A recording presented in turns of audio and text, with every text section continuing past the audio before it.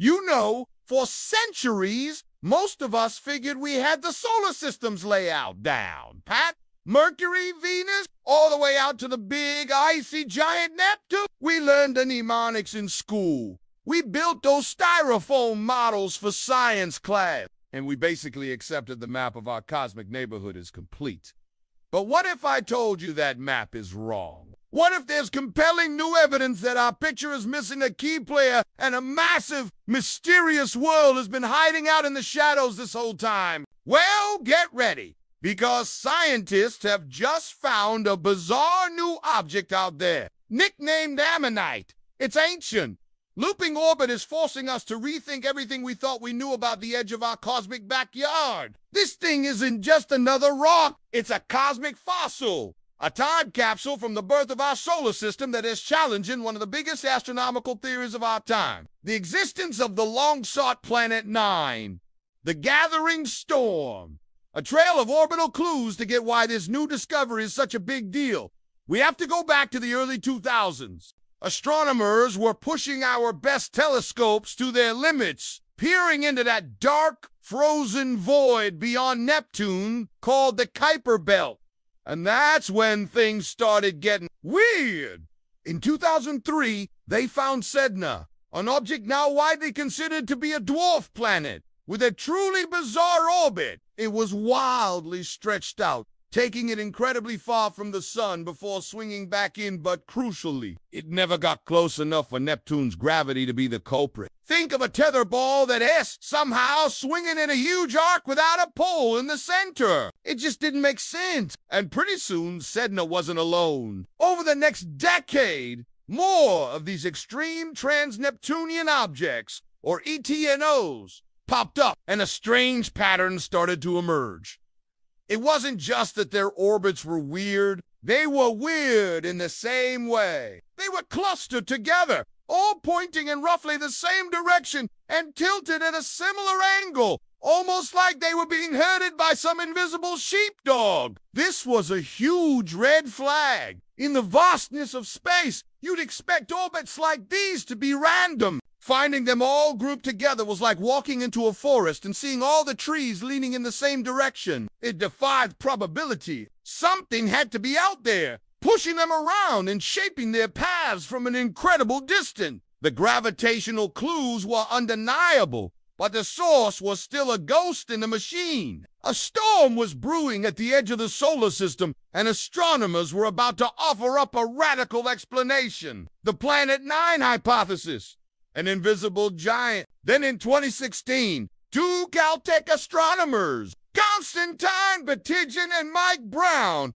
dropped a bombshell on the scientific community. They proposed that the invisible shepherd was a real massive planet. World maybe five to ten times the mass of Earth lurking in an orbit. So vast it could take over 10,000 years to go around the sun just once. They called it Planet Nine. The theory was elegant and powerful. A planet of that size, orbiting hundreds of times farther from the sun than we are, would have just the right gravitational pull to explain the strange clustering of all those distant objects. It was the missing piece of the puzzle. It would be a true giant hiding in plain sight, shrouded in darkness. And just like that, the hunt was on. Telescopes across the globe started scanning the skies and running complex simulations to narrow down the search.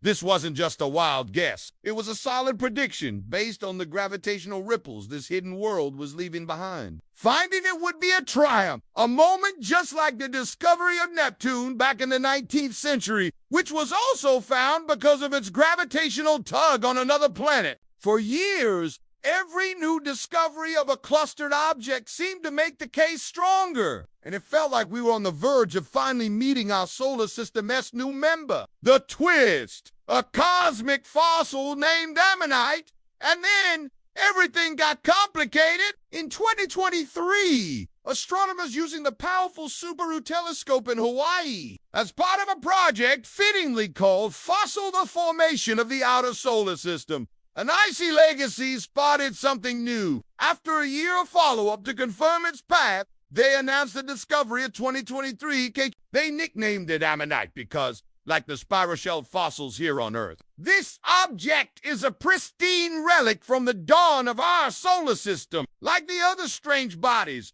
Ammonite is what's known as a sednoid, and it's only the fourth one ever found. This means its orbit is incredibly distant and stretched out. It never gets closer to the sun than about 66 times the distance from the Earth to the sun, putting it far beyond Neptune's influence. Some simulations suggest its orbit has been stable for 4.5 billion years, making it a true fossil that holds secrets to our solar system's chaotic childhood.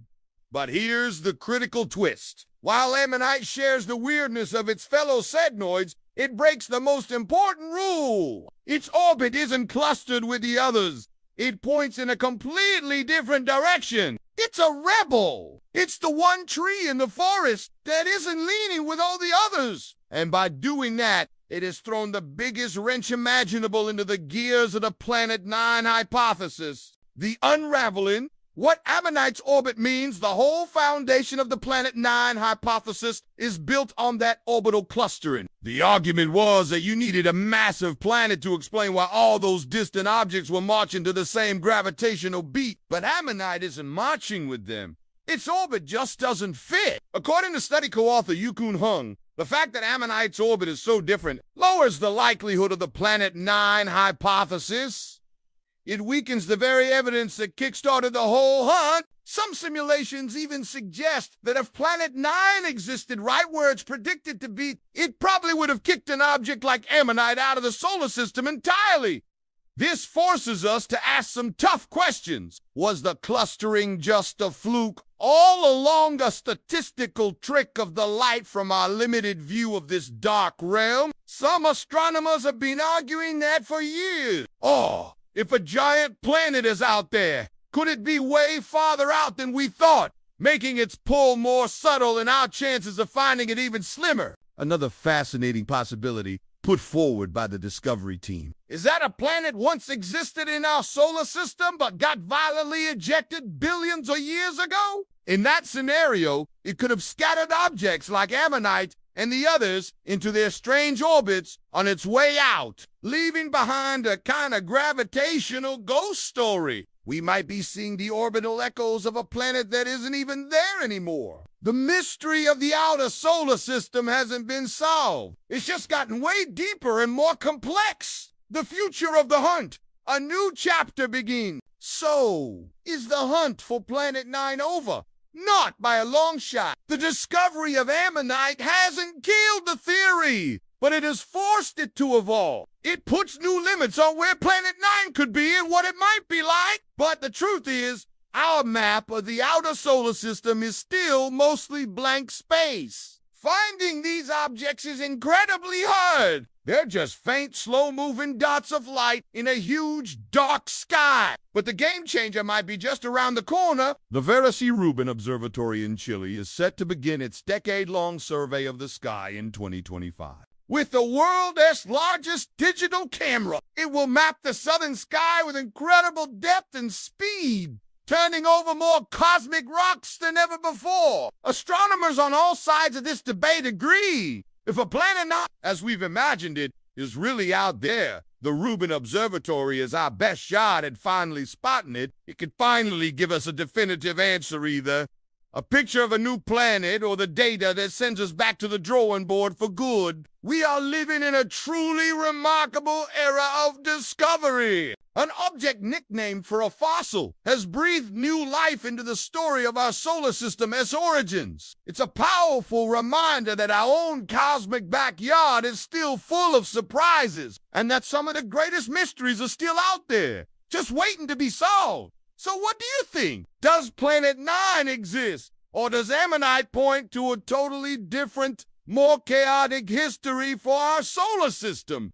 Let us know your theories down in the comments. And if you want to stay on the front lines of cosmic discovery, make sure to subscribe. And hit that notification bell for more on the hunt for our solar system as hidden worlds. We started with a simple map, a mystery of clustered orbits, and a neat solution a hidden planet. But the discovery of Ammonite has torn a hole right through that map. It has shown us that the outer solar system is more diverse and its history more chaotic than we ever imagined. The simple story has become a complex epic. Whether a ninth planet is waiting to be found, or the answer lies with rogue worlds, or ancient galactic tides, one thing is certain. The adventure is far from over.